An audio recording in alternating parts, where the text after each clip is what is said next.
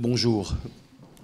Vous savez, on va commencer à l'heure, même s'il y a des retardataires, je, je m'interromprai parce qu'on doit prendre un train pour quitter cette belle ville. Et j'en profite pour dire à quel point j'ai passé trois jours merveilleux ici. J'étais dans un petit hôtel avec un jardin et la cathédrale qui sonnait le matin. Et c'était formidable. Voilà. Et puis j'ai rencontré des gens merveilleux et j'ai eu des discussions, même en signant des livres. euh, voilà, c'était formidable. Euh, je, commence par faire euh, toute petite lecture, enfin une quinzaine de minutes. Et après, Gwenel Boutier va me, rejoindre pour discuter. Au fond, c'est pas une vraie lecture que je fais d'une heure. C'est une petite lecture du dernier livre que j'ai fait, qui vient de sortir, qui a un titre extrêmement gai, comme vous voyez, qui s'appelle Irréparable, et qui est destiné, je vous expliquerai après, au théâtre, mais qui a une drôle de fonction, qui peut se lire comme un livre de littérature ou de poésie plutôt. On va dire que c'est quelque chose qui est entre la frontière entre la poésie et le théâtre.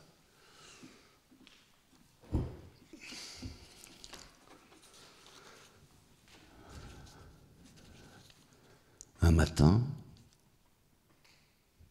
on ressent l'envie furieuse de fabriquer une machine.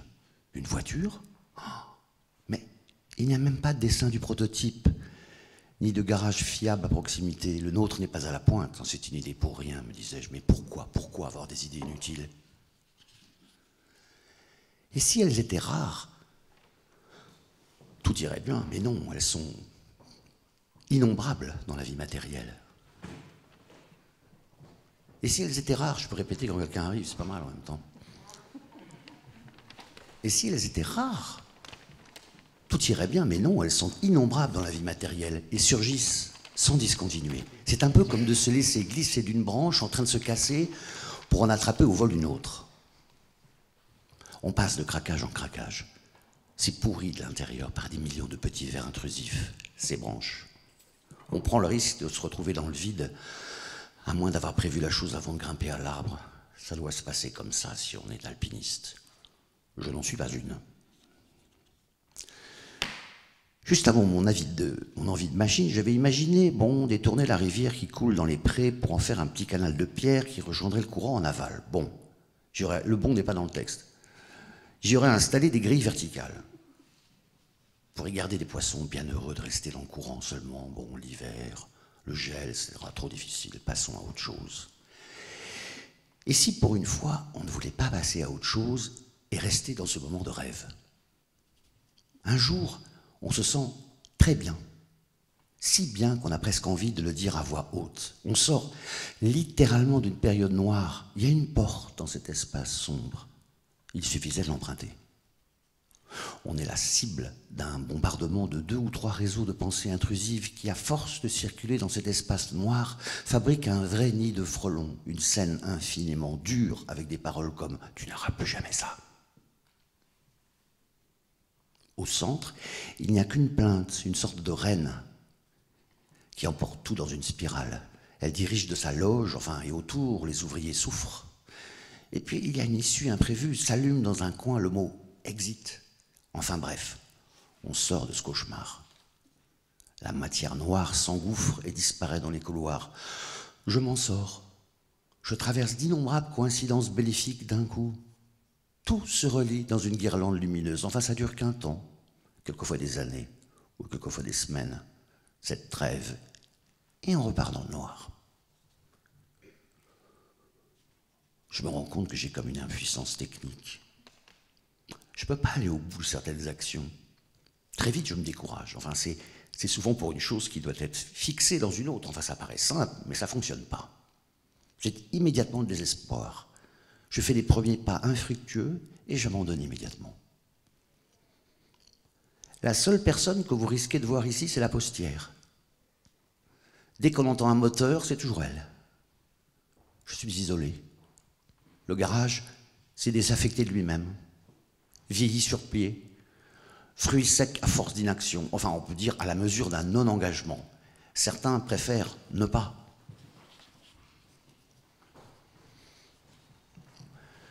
Je visualise à grande vitesse les conséquences en cascade. Qui va m'aider? Visualise à grande vitesse les conséquences en cascade. Qui va m'aider? Tout ça est détruit. Tout ça va disparaître. C'est terrible. Et puis je m'apitoie sur mon sort, etc., etc., etc. C'est ma destinée de ne pas savoir réparer. C'est ma destinée de ne pas savoir réparer. Conséquence, rien ne marche ici. C'est dans le texte. Ce matin, la rivière est blanche, comme du lait. Je ne l'ai jamais vue comme ça. Ce sont les très fortes pluies. Augmentant la force du courant, elles arrachent du calcaire à la pierre des falaises qui bordent ces rives. Ah, je me suis plongé dans le flux crayeux. J'avais peur, mais je l'ai fait quand même. J'ai toujours peur de nager seul. La rivière est hostile. À deux, on pourrait lui tenir tête. J'ai peur d'elle. Sous sa surface, enchantée d'été, avec libellules et nénuphars, j'ai vu l'autre rivière, toute noire, avec crues gigantesques, un flot sombre et glacé. Ah, on vous dit, il faut tout vivre, très bien.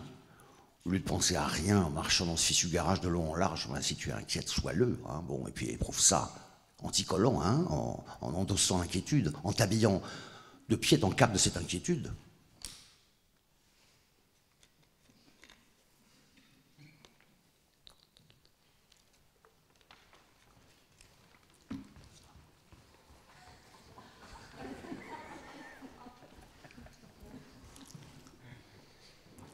Et lui, en quatrième de couverture de ce livre, il y a marqué quelque chose que j'expliquerai après. C'est très simple. Une femme parle et un homme se tait. Donc, et lui alors, qu'est-ce qui s'est passé, lui que j'aimais tant? Pourquoi il se tait? D'un coup, terminé, muet C'est bizarre. C'est pour toujours? Bref, je ne sais pas réparer. Je le répète tous les jours. Je, suis, je vais finir par avouer que je conserve des voitures des années au lieu de les sauver je les transforme progressivement en épaves. Ça va finir à la casse. Désolé, j'ai cassé le pied et l'aile du petit ange, un moulage en terre cuite, un ange endormi. Je lui ai infligé deux cassures. L'ange avait perdu ses ailes, mais pas ses bras. Je voudrais élever un mur de jasmin, un vrai mur impénétrable dans lequel on s'enfonce. Un mur de parfum avec feuillages qui viennent s'enrouler autour de vous si vite, presque 50 cm par jour. Ce n'est pas le gris atroce qui me gêne le plus dans ce temps atroce, c'est de revenir au noir et blanc. Avec des éclairs de magnésium, comme si un fil électrique se dénudait. Étincelle? Je ne coupe pas les branches basses du tilleul. Maintenant qu'on lui a étêté un gros tiers en hauteur, ces branches devenues harmonieuses forment une coupole idéale. Ouf, je vais me livrer à moi-même. Enfin, c'est une drôle d'expression quand même. Enfin, je croyais que ça voulait dire quelque chose comme se consacrer enfin à soi, ou je vais enfin me dire la vérité, ou encore se déposer chez moi. Bonjour, c'est moi, à la livraison, je signe, c'est moi, c'est bon, c'est reparti. Lu ce matin dans le journal qu'une violoniste, en coupant des oignons, s'est entamé le petit doigt de la main gauche. Quand on connaît l'importance de ce petit doigt dans la pratique de violon, il y a de quoi s'affoler on peut le comprendre. Plusieurs années après, elle a posé un revolver sur sa tempe. Le coup n'est pas parti. J'ai peur des signaux, surtout les plus minuscules. Le petit bouton rouge qui clignote indique que la machine se réactive. Elle signale qu'elle exige du temps. Elle réfléchit. Il y a menace d'abandon. Enfin, c'est la nourrice qui claque la porte. Un biberon cassé sous les yeux d'un enfant pour lui faire comprendre que c'est fini. Quelqu'un de normal y verra au contraire une sollicitude de la machine. Elle est à notre service. Tant que jardin, c'est moi qui, en bougeant, fais les paysages. Par exemple, une vue. Il faut faire une trouée qui mesure au minimum un kilomètre et demi à vol d'oiseau.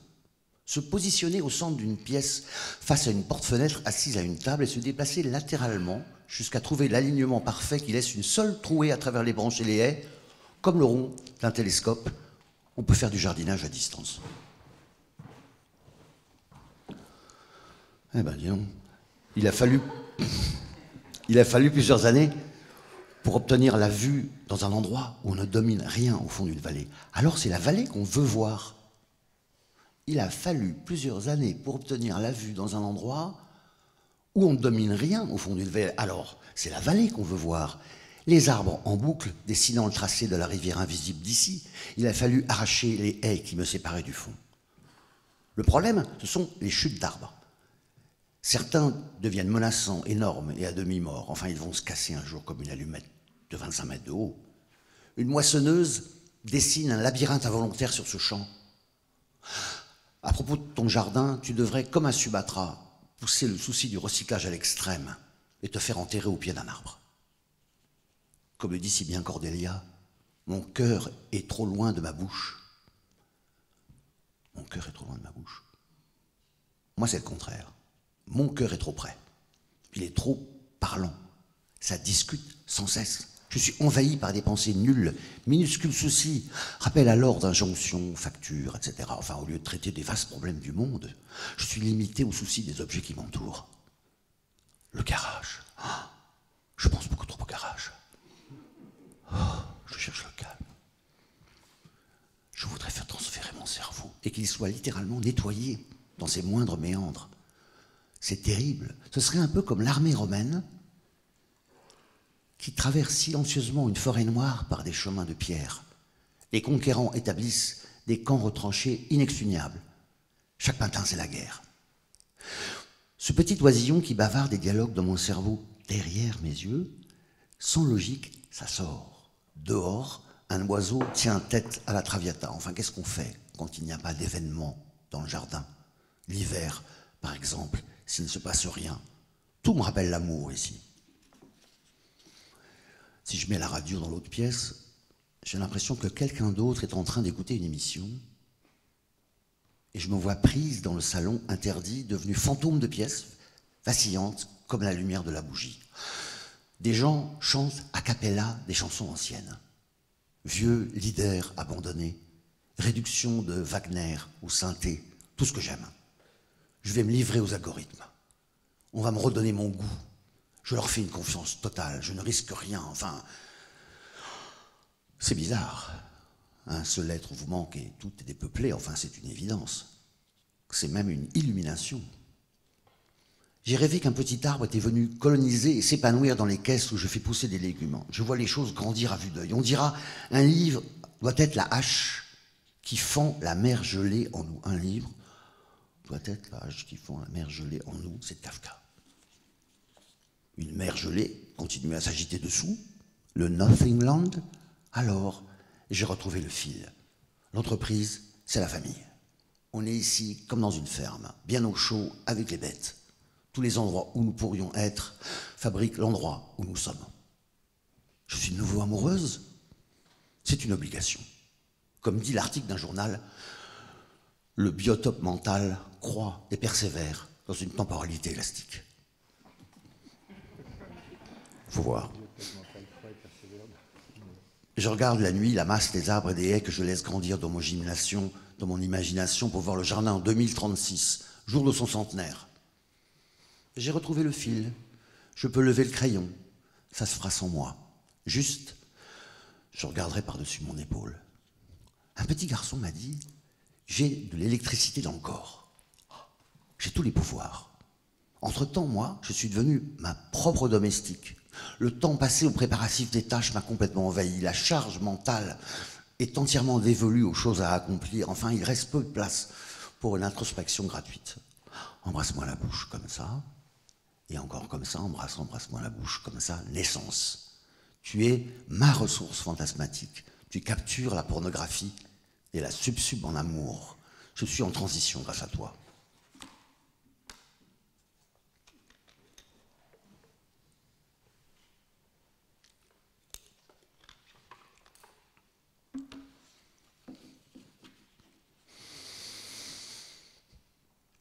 tu souffres d'être dans le cru, hein? C'est ça que tu dis, dans le vrai. Tu te sens condamné à y être dans ce vrai. Eh ben, vas-y, fais-le, allez, dans ce vrai. Disons que si par chance tu te rendais compte que tu allais mourir, tu ferais certainement, enfin je sais que tu es un être moral, une sorte de testament parlé pour ne te garder que le bon côté des choses qu'on a vécues. Et Dieu sait si on a eu des dissensions. On dit que l'angoisse renvoie à des affects qui s'écartent du fleuve de la vie. On dit que l'angoisse renvoie à des affects qui s'écartent du fleuve de la vie. C'est une citation de Freud, c'est pas mal. L'idée du fleuve. Je passe beaucoup trop de temps dans les bras morts. On ne peut pas tenir un garage dans ces conditions. Avec l'idée qu'on ne peut rien réparer. C'est même l'extrême inverse de ce qu'on attend de nous. Bon, je suis à plat, j'ai des acouphènes, c'est à moi de réparer mon moteur. C'est très difficile de se réparer soi-même. On a intérêt à être très bien entouré pour réussir cette intervention. Ça fait un bruit lointain de frigidaire ou l'effet d'une nuée de grillons de son d'une nuit d'été. Ce n'est pas si désagréable. J'ai peur en nageant. L'eau ne me portera pas. Il faut lutter. Je surnage. Je suis entièrement dominé par mes émotions. C'est comme un fluide, un guide, une voie libre à l'intérieur qui brûle. L'angoisse est pulsée dans mes membres via ce mécanisme. Ah, tu t'es retrouvée comme une, comme une reine sans fou. Regarde-toi, tu parles toute seule, tu tournes en rond, tu vis dans la terreur. Enfin, appelez-moi un chirurgien, mon cerveau est fendu. Si j'étais une autre personne, je pourrais m'en sortir. Quelqu'un qui ne souffre pas. Celle qui raconte ne souffre pas en même temps que moi. Celle qui raconte ne souffre pas en même temps que moi. Ça fait un intervalle. On peut s'y glisser, c'est une piste. Les paroles qui reviennent comme un essaim se ravisent et rentrent brusquement dans le nid. Ah, c'est toi Et se dessine une flèche d'or dans le ciel azur. Ah, je vois bien que cette histoire est beaucoup plus embrouillée que je ne le pensais. J'ai mis au point un système simple, dire les choses successivement comme on transporte des pierres. On renverse la brouette là où il n'y a pas de place.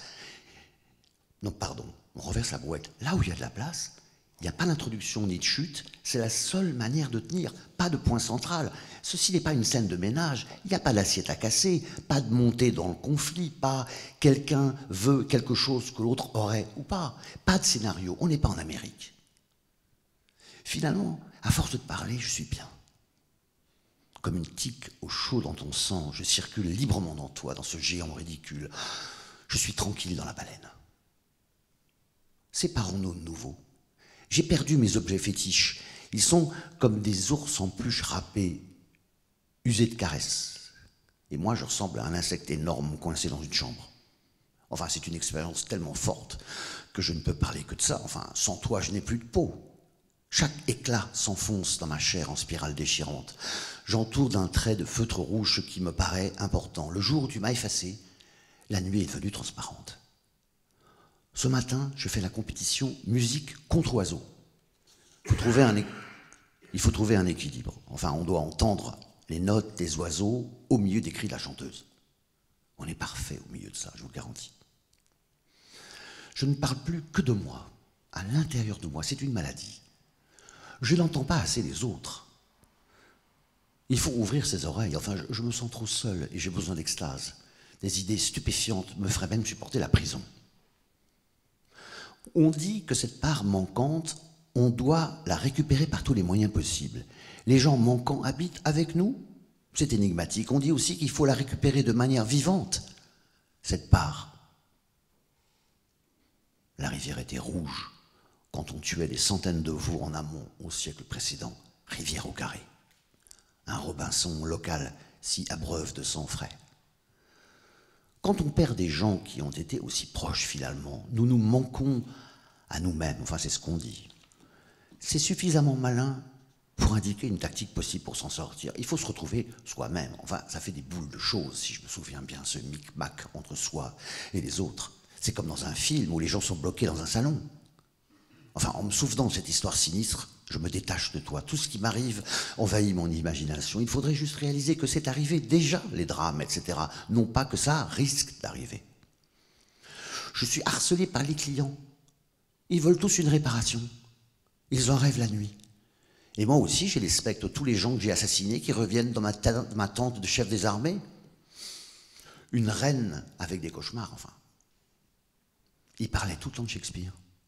C'était une maladie, tout ça à cause d'un malheureux article. Était-il un homme ou une femme? Non, non, oh non. Allez, viens en prison avec moi. On va chanter tous les deux seuls, comme les oiseaux en cage. Et quand tu me demanderas ma bénédiction, je me mettrai à genoux. Alors, on vivra comme ça. Prier, chanter, raconter de vieilles histoires et rire aux papillons dorés. Un matin, il arrive que les organes ne crient plus. Ils ne sont plus dedans. Ils ne poussent plus à l'intérieur du corps vers le dehors. À dire vrai, c'est d'un seul organe dont il s'agit, le regret. Et un matin, envolé, plus rien. On se tâte, incrédule. Merci.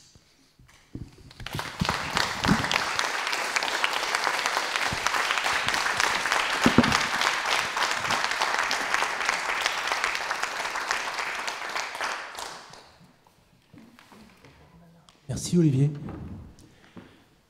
C'était bien. Hein Merci. C'est un étonnement toujours renouvelé. Euh, pour celles et ceux qui sont déjà lecteurs d'Olivier Cadio, je pense que ça va faire écho à, leur pratique d'Olivier Cadio, cette histoire d'étonnement renouvelé, c'est-à-dire qu'on se retrouve dans une sorte de, de quiétude de l'inquiétude, c'est-à-dire qu'on est sans arrêt bougé, on retrouve un tumulte qui est euh, pour autant confortable en tant que lecteur. Et donc les questions, elles sont euh, multiples. Évidemment, je vais arranger ça pour euh, ne pas être trop désordonné. Et, on part de, donc de ce tout petit livre, qui est le, plus petit objet que tu as fait paraître chez POL, où tu, es édité depuis 35 ans. Et donc il y a toute une histoire, une œuvre là-bas, qui s'appelle Irréparable. On pourrait parler de son titre, qui est au cœur de qu'on a compris euh, de, ce qui semble être un personnage. Mais ma première question, elle sera très courte. Euh, elle va te permettre de situer. Euh, c'est pour Christophe Martaler. Et donc j'ajoute un point d'interrogation à cette dédicace parce que c'est donc ce texte une commande de théâtre, ce qui peut te permettre de, nous dire un petit peu de ce mélange que d'évoquer au début sur entre théâtre et poésie, parce que c'est entre théâtre, entre poésie, entre d'autres choses aussi, peut-être. En tout cas, c'est entre. Mais en quoi texte de théâtre et puis cette commande euh, Oui, déjà, je reprendrai au mot euh, ce que vous dites sur entre. J'ai toujours été euh, compliqué, quoi, comme garçon. C'est-à-dire, j'étais toujours entre. J'ai commencé par faire un premier livre de poésie, et tout de suite après, j'ai arrêté. J'ai fait un premier essai de roman qui mixait poésie et roman. Et progressivement, j'ai fait des romans. Et puis ces romans ont été adaptés au théâtre. Je me suis retrouvé au théâtre sans le vouloir, en n'aimant pas tellement le théâtre. Et j'ai fait beaucoup de lectures publiques, donc qui étaient des choses plus qui, même si c'était de la prose, avait une sorte, comme vous l'entendez là, une certaine dynamique, on va dire, qui approche le roman du côté de la poésie.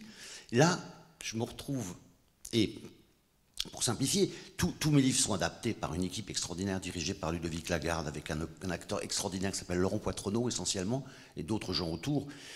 Et par exemple, ça c'est mon précédent livre, qui s'appelle Médecine générale, qui est nettement plus gros que celui-là, et qui va être adapté, qui va jouer à la MC 93 en septembre, à Paris, qui va être créé.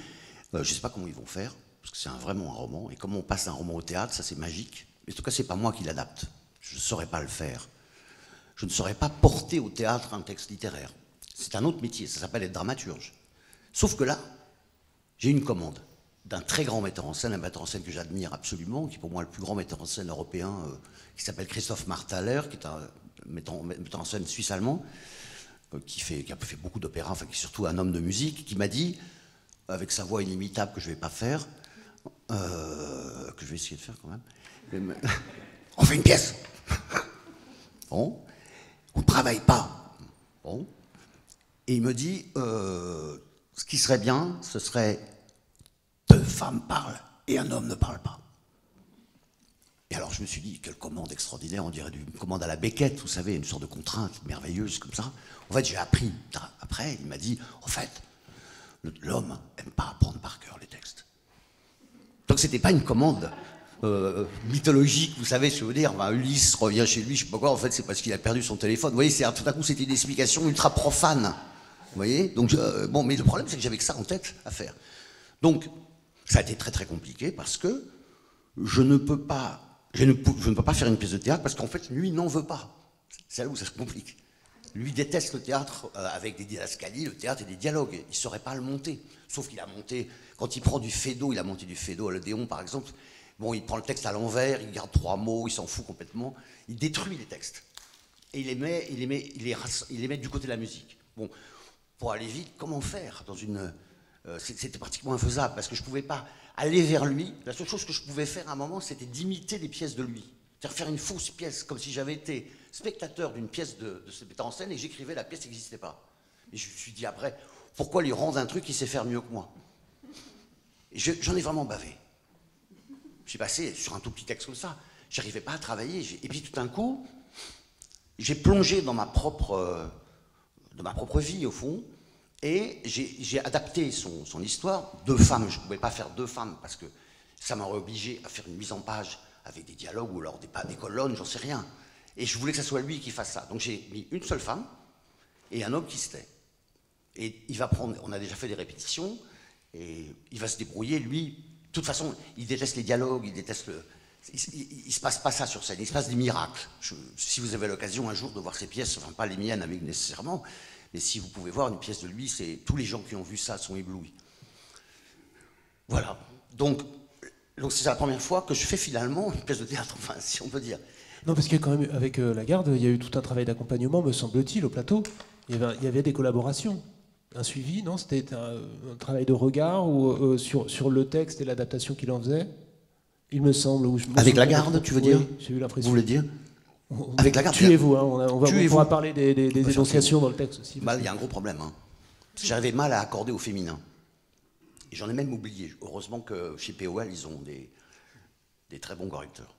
Parce que j'étais moi-même euh, amputé de, du féminin, je ne savais pas très bien comment faire. J'ai déjà j'ai fait un, autre livre avec une voix de femme qui s'appelle Fairy Queen, qui est un petit livre avec une petite, une petite fée qui se trimballe dans Paris. C'est assez marrant. C'est euh, avec une voix de femme. Mais je, reviens à, ce que vous dites. Vous voulez dire avec la garde Je vais aux répétitions beaucoup. Je vais beaucoup aux répétitions. Mais c'est pas moi qui tourne le livre à l'envers. Et d'ailleurs, ce qui est assez extraordinaire, c'est que du coup, dans ce, dans ce livre-là, qui est un roman, il y a des dialogues. Eh ben, il ne peut pas prendre les dialogues, parce que ça ne marche pas, les dialogues. Au théâtre, paradoxalement, dans mon théâtre. Il faut complètement inverser tout, mettre les dialogues en imaginaire, et, les, textes, les textes qui sont les plus littéraires et les, plus, les moins théâtraux qui soient vraiment dits. Donc il faut inverser les choses. Et ça, et eux peuvent le faire, moi je ne peux pas le faire, parce que ça, ce serait prendre mon livre et le mettre dans l'autre sens, ce serait bouleversant. Je ne saurais pas le faire.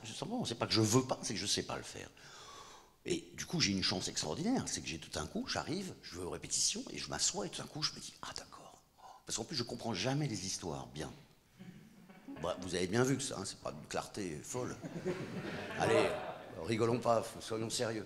C'est vrai, j'ai du mal à comprendre, et je suis aussi traducteur, vous savez, donc j'ai traduit, euh, par exemple, quatre pièces de Shakespeare alors, en 5-6 ans, je suis devenu complètement accro de, Shakespeare, et, je, je, comprenais rien à ce qui se passait. J'ai traduit Le Roi Lear, qui était joué à la Comédie Française, là, avec Podalides. J'ai compris un petit peu l'action, je me suis dit, tiens, c'est pas bête ce moment où la fille fait ça. J'exagère, mais je me, je ne peux pas, je n'ai pas de pouvoir sur le scénario. D'ailleurs, j'ai le dit derrière, tiens, en fait, on n'est pas en Amérique. Ce passage. Même si je fais un scénario, ce scénario, il a un autre rôle. Il a un rôle de pulsation verbale. C'est-à-dire, je ne crois pas faire des livres difficiles. Je crois que c'est très facile à lire. Tous mes livres sont. Il n'y a pas une métaphore compliquée, incompréhensible. Tout est simple. Simplement, ils sont à un endroit bizarre. J'aurais beaucoup de mal. ici. ça demande. Euh, c'est pas à moi de le dire. C'est pas parce que j'arrive pas à le dire mais quelque chose qui, je dirais comme ça aujourd'hui, peut-être aujourd'hui quelque chose qui pulse. Enfin, une pulsation euh, rythmico-émotive, je ne sais pas ce que ça veut dire, un truc euh, presque amoureux, enfin, une dimension euh, impalpable, voilà. Mais je ne veux pas en faire non plus une chose extraordinaire. Je ne suis pas un poète au sens classique, c'est-à-dire que je, suis poète, mais je, suis poète pratique. C'est-à-dire je n'ai pas une vision d'une surlangue. C'est plutôt avec une langue très simple qu'on finit par toucher la cible. Mais bon, Là, je m'égare complètement hein, avec cette histoire de cible et de flèche. Non, mais cette indétermination, elle est, elle est fondamentale euh, dans ce que vous avez fait, c'est-à-dire statut de poète, statut de, au théâtre, et puis vous l'avez dit, euh, pas didascalie, euh, et puis en poésie, pas, pas, vraiment de vers non plus, et puis en roman, pas vraiment d'intrigue. si, si, il y a une intrigue. mais, mais, pas l'américaine quand même, pas de scénario du moins. Ouais, c'est compliqué. Mais cette indétermination, elle est paradoxale parce que ce qui s'est construit, et là, ce qu'on retrouve dans ce livre-là, euh, sont des blocs, alors évidemment, médecine générale étant le plus prosaïque, on a des blocs euh, romanesques, euh, des, blocs, des pages entières justifiées. dans celui-ci, on retrouve ces, espèces de petits blocs sur la page avec quand même du blanc, qui étaient Retour définitif et durable de l'être aimé, par exemple, marchait comme ça, sur ce système de paragraphes qui faisait. Euh, Sauf que j'avais des. Oui, de temps en temps, j'avais des, phrases seules qui venaient euh, intervenir entre les paragraphes. Et ça produisait une rythmique particulière. Donc ça produisait un roman, ce que j'appellerais un roman poétique. C'est-à-dire que ça, il y a un endroit où c'est des poèmes en prose, presque. C'est pour ça que je dis ça à la frontière. C'est presque un poème en prose. Il y a aussi quelque chose de fascinant pour moi euh, qui vous ai lu dans, le, dans ce petit texte, c'est que j'ai eu l'impression que c'était une réduction et, euh, comme euh, tout cadio dans une, dans une boule à neige, vous voyez. Ah, c'est non mais ah, très très bien la boule à neige. Hein J'adorerais faire un livre à boule à neige. vous retournez, faites. Oh je suis sûr que c'est une métaphore que vous avez déjà utilisée. Jamais. La boule... Ça peut être un bon titre de livre d'ailleurs. Boule à neige. Dans les images, dans les images très concrètes que vous utilisez. Non, mais il y a Robinson, Ouais. il y a l'obsession Shakespeare, euh, Ouais. vraiment des choses Ouais. qui sont nommées. euh, et puis il y a, il- vous avez évoqué Fairy Queen, mais à un moment la narratrice, elle dit des phrases, deux ou trois, qui pourraient être celles de Fairy Queen. J'ai tous les pouvoirs. C'est ça. Peux tout faire. C'est Fairy Queen avec sa baguette magique. Ah, que j'avais tellement peur que j'ai pris tous mes jouets. Et d'ailleurs, je dis à un moment, je me souviens, non, il y a un sort de doudou usé par les caresses. C'est ça. Je crois que tous les écrivains font ça, non? Ils ont des petits doudous. Oui, mais quand même, C'est c'est regarder des petites baleines, c'est pas grand-chose. c'est conscient ou ma remarque, elle est juste. euh, Non, non, c'est vrai. C'est inconscient. J'ai absolument pas calculé, bien sûr que non. C'est-à-dire, j'ai fait monter ce que je pouvais. On n'écrit pas, on n'écrit pas ce qu'on veut, on écrit ce qu'on peut quand même. Hein. C'est pas facile d'écrire. Il reste très peu, il y a très peu d'espace pour écrire. Enfin, d'espace dans la parole, puisqu'il s'agit là non pas d'écrire quelque chose. Écrire, c'est pas compliqué. Ce qui est compliqué, c'est de trouver la voie qui est possible. Le, sujet, pas au sens du sujet. S'il faut trouver le sujet. Là, c'est une histoire de garage. Bon, c'est un peu faible comme histoire, mais surtout, il va faire un garage, mais démentiel. Ça, j'en suis sûr. Il fallait bien que j'ai un lieu. Mais ce qui est important pour moi, enfin, c'est important pour tout écrivain, c'est une grande banalité de le dire. Tout le monde le dit, tout le monde le cherche. Il faut quelqu'un qui ouvre la porte et on dit ça va, entrez. C'est exactement ce qu'on fait quand on est lecteur. On va dans une librairie, on on dit ah, ah. on vous dit trois pages, trois lignes, et on dit c'est pour moi. C'est-à-dire que c'est vraiment une rencontre quasi euh, amoureuse. Je. Donc il faut trouver. Ce qui est très compliqué, c'est pas d'écrire le contenu des baisers, c'est juste d'avoir ce qu'on appellerait du style. C'est pas le style, c'est le style, c'est-à-dire euh, d'un coup vous avez une énorme perruque, vous, vous, sonnez et on vous dit ah entrez, ça va. Même si vous avez une grosse perruque, je vous aime. Non mais je rigole, je fais l'idiot. Mais c'est parce que j'en ai souffert, non mais parce que je rigole parce que j'en ai vraiment bavé quoi. Ce truc, ça a été très très compliqué parce que c'était pour quelqu'un. D'habitude, j'écris pas pour moi, mais j'écris pour, je sais appellerait ça la littérature, je sais pas comment dire. J'écris ça pour les lecteurs inconnus, pour, c'est ça qui est merveilleux. Là, je savais qu'il y avait un premier lecteur, donc, euh, et je savais qu'il pouvait pas supporter l'idée que je lui impose un texte classique à monter, classique. Vous, voyez ce que je veux dire Enfin, euh, distribué, quoi, prêt pour le théâtre. Alors, tandis que là, il va faire ce qu'il va vouloir. Il va, il, va, il, va, il va le prendre, il va le couper en morceaux, il va le faire dire par, par- par plein de gens, il va, il va y avoir un musicien sur scène, ils vont se débrouiller, quoi. Et ça va être dément. Mais il existe aussi en tant que livre. C'est-à-dire, il y a les deux objets. Enfin, Oui, parce que je ne peux pas me permettre de faire une chose qui sorte euh, un à côté, quoi. Je ne peux pas faire quelque chose à côté. Même les tout petits textes qu'on me commande quelquefois. Par exemple, j'ai fait un petit texte pour l'IMEC, là, qui va sortir en, en octobre. Il faut que ça. il faut même, je dirais même, je suis même euh, limité par quelque chose. Il faut, il faut qu'il y ait une suite, que ce soit une suite, une suite imaginaire.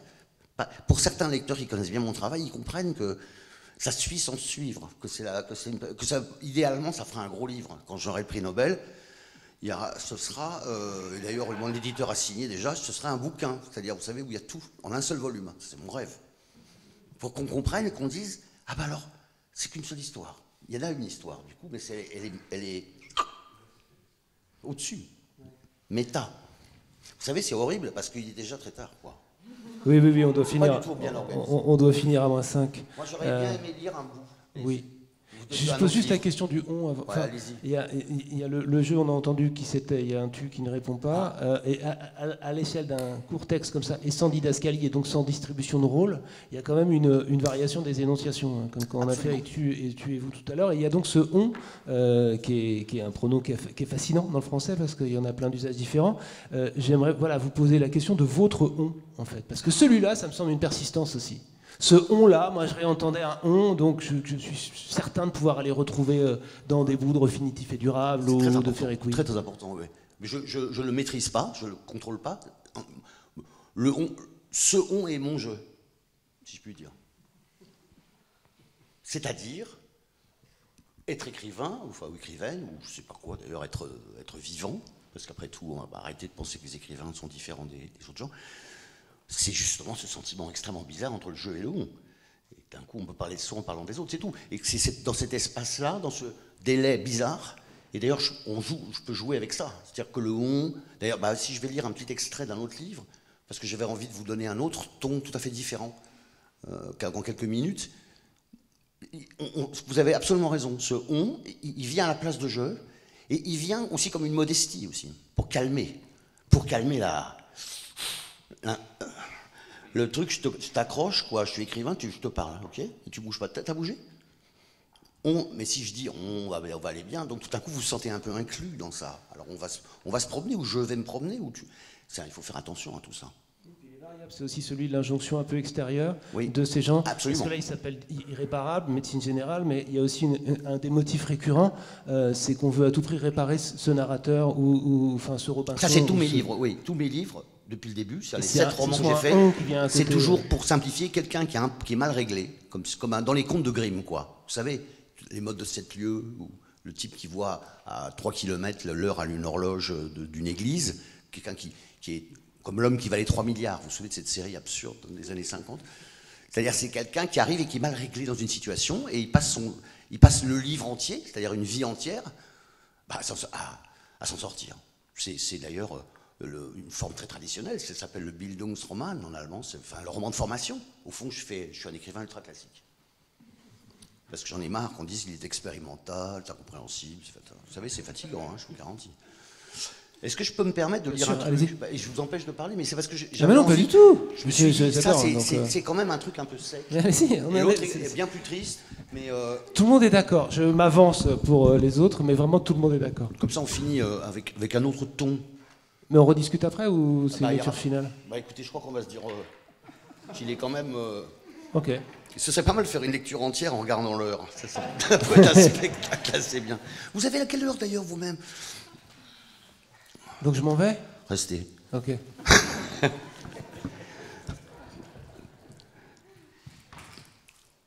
Pendant que je roulais, avec le corps de mon frère en train de se décomposer légèrement, tous deux trimballés sur l'autoroute, J'écoutais l'incarnatus est de la plus belle des messes de Haydn. Ce petit bout de musique chantée prétendait opérer en quelques minutes un miracle. Et homo factus est, un homme, une femme, un être humain prend corps devant nous. Et par palier, ça s'incarne, c'est fait. Ça n'arrête pas de naître. Des fleurs s'ouvrent en accéléré, la peau se construit et les yeux s'ouvrent. Ça se fabrique sous nos yeux. Ça donne des forces. Il faut au moins trois voix entrelacées pour réussir ce prodige. Surenchérir dans l'aigu, attaquer à l'ultra-basse sur le flanc gauche, revenir au centre pour se frayer un nouveau chemin inédit. On dirait que la musique cherche une issue, comme l'eau qui s'insinue dans la moindre fente et profile des déclivités minuscules pour se transformer en petit torrent. À force d'exploration, elle touche successivement des points, comme on le fait avec un corps que l'on soigne en le perçant d'aiguilles. On dirait qu'une zone a été isolé par les notes qui précèdent, comme si vous exploriez l'ensemble d'un être en réservant un endroit, cette zone finira par crier pour qu'on la touche. Ici, encore. Quelle obstination. La musique nous prend par la main, enfin, elle exécute son programme, les yeux fermés. Elle, au moins, connaît sa fin. Elle s'accorde parfaitement avec le paysage déroulé par la vitre. Elle sait que ça marche toujours, c'est son métier. La nuit, avec un peu d'entraînement, je peux me glisser dans cette scène sans trop d'efforts. J'y reviens à volonté. Je peux même emprunter mon corps d'avant. Il suffit de quelques points d'appui. Le contact du bois du cercueil, la chaleur extrême par la vitre abaissée, la chemise blanche aux manches relevées, les deux hommes en noir silencieux à l'avant et cette musique en boucle. Et homo factus est un homme, une femme, un être humain prend corps devant nous, enfin, par palier. Ça s'incarne, ça se compose, c'est fait, ça naît, et c'est le monde à l'envers, ça n'arrête pas de naître. Des fleurs s'ouvrent en accéléré, la peau se construit et les yeux s'ouvrent et ça recommence. Mais déception, à la fin du morceau, notre enfant est déjà mort. Et pas sous, et pas sous, ça y est. En un clin d'œil, le voilà déjà disparu. Fabriqué si vite et passé en cinq minutes Il faut réécouter ça des débuts. Pendant 500 kilomètres, je revenais en arrière. J'avais heureusement l'appareil pour ça un des premiers Walkman. La touche repeat n'existait pas encore. On ne pouvait pas sauter de plage en plage, ni susurrer un ordre pour envoyer le son. Survivait une bande magnétique, mais réduite, devenue presque un jouet, si délicatement installé dans son coffret en plastique coloré. Enfin, nous voilà, comme toujours, dans un drôle moment de l'histoire. On devait se plier au rewind. Je m'entraînais si bien à cette manipulation que je tombais presque à chaque fois, pile au début. Oh À force de repartir en arrière, on ne sait plus comment ça recommence, comment ça finit, ça naît et ça meurt, et on se retrouve au milieu, et c'est sans fin, et c'est la vie. Enfin, il semblerait que c'est ça la vie, non On ne savait plus qui était mort et quand. Ça faisait comme un plateau, soudain, quand on est épuisé dans une pente, un moment de paix. À force, les événements font masse, la mélodie se pose, indépendante, une machine pour elle-même, ouf, on respire. Qui est mort et quand? Heureusement que je réfléchis le plus souvent à voix basse, et heureusement que les deux hommes ne m'entendent pas. Dans cet habitacle, ce serait déplacé. Enfin, je garde mes pensées pour moi. On roule. Il fait presque chaud. Au bout de quelques centaines de kilomètres, on commence à prendre ses aises. Les croque-morts s'arrêtent au restaurant. Par politesse, on essaye de les dérider en parlant d'autre chose. Il fait une chaleur de plomb. On dirait un tarmac noir et blanc à Dallas en 1960. Il est vrai que les la trombine fuselée de l'engin, les chemises immaculées et les visages rasés de près, ils sont sans doute par quelque chose. La différence de taille qui rendait la chose moins mythologique, c'est qu'on ne fonçait pas vers Saturne en traversant des trous noirs, mais vers la très petite ville de Sainte-Maure en Touraine, pile au milieu du voyage, 250 km depuis la porte d'Orléans, par la nationale, ou la première version de l'autoroute, qui à cet endroit, au milieu des années 70, longeait un mur immense avec des pans effondrés envahis de lierre noire.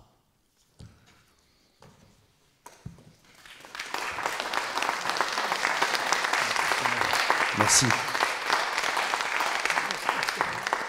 Il, ouais, il reste une question parce que voilà, euh, à 50, on arrête. Euh, on a entendu deux lectures euh, où il y a évidemment des motifs en commun, il y a des choses en commun. les deux lectures n'étaient pas les mêmes. Alors effectivement, la première, elle était aussi au début et vous êtes adapté à la situation. Et donc moi, je vous voyais, mais comme nous tous, euh, là au plateau, et c'est ça aussi ça qui m'a fait penser à la garde, c'est j'avais l'impression aussi d'un texte euh, qui était fixé, mais encore en, vivant, c'est-à-dire, euh, est-ce qu'il y a ça? C'est-à-dire, est-ce que c'est l'influence de la commande de Marthaler qui fait que, par exemple, tout à l'heure, vous l'avez lu en faisant bouger des choses? En le commentant, en le... Ah non, non, non, non, non. Non, non, c'est parce que j'ai fait beaucoup, beaucoup de lectures et, j'en ai quelquefois un peu assez des lectures, aussi c'est une question d'usure, des lectures un peu solennelles. J'ai aussi envie qu'on soit ensemble ici, dans cette pièce, sans que ce soit un spectacle. Donc, enfin, je fais l'idiot, parce que c'est important de se détendre aussi pour écouter la littérature. On n'est pas obligé de l'écouter dans une tension. Et j'essaie de, changer un peu. Parce que mes livres aussi sont, même si vous n'avez pas vu du tout cet aspect, sont plutôt comiques. le. Vraiment, c'est plutôt des, Voilà. Mais là, bon, je suis venu à Montpellier, il, voilà, il pleuvait, enfin, c'est tout. Il fallait bien que je m'accorde avec la météo. Merci en tout cas, parce que c'est parfait. Merci. Ben, merci Olivier. Euh, mais du coup, il reste 5 minutes pour celles et ceux qui voudraient se faire dédicacer aussi un livre avant que vous preniez le taxi. Donc on coupe maintenant. Vous pouvez en prendre tous, euh, les livres. Et voilà. je, mettrai un tampon, vous allez voir, ça va aller vite. Voyez, comme celui-là, celui-là, c'est une réduction, mais qui vous donne envie de, lire tout le reste. Enfin, pour tout comprendre, tout cas, merci beaucoup de votre présence et de votre accueil. Merci beaucoup. Merci.